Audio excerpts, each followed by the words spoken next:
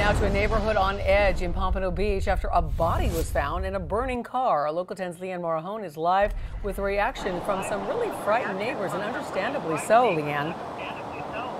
Yeah, they really were scared by all of this. I want you to take a look though, because since we last joined you an hour ago, you can see that burned out car is now on the bed of a tow truck that will now be taken away as evidence as investigators continue their investigation.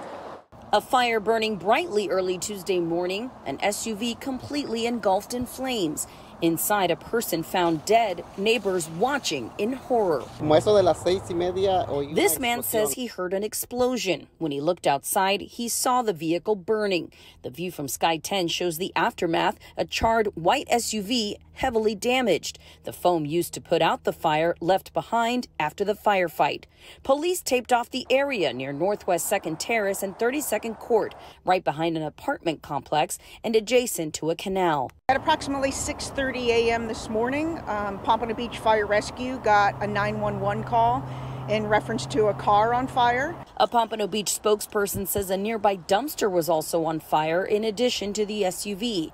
Firefighters discovered the body in the back seat. We know it's an adult.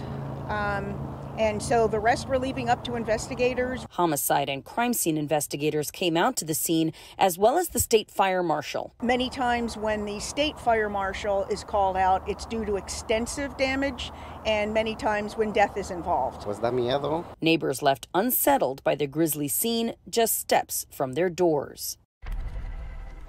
And back out live, you can see they are still getting ready to take this car away. At this point, the identity of the person that was found inside of the vehicle has not yet been released. What's still unclear is how exactly that person died, whether it was a result of that fire or something else. Reporting live in Pompano Beach, Liane Morejon, Local 10 News.